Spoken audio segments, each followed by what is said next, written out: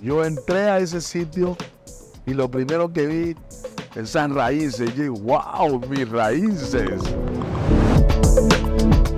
Lo que yo quiero decirle al mundo es que tenemos una responsabilidad compartida, las comunidades indígenas, los pueblos afro, es la sala cuna del cuidado de la comida del mundo.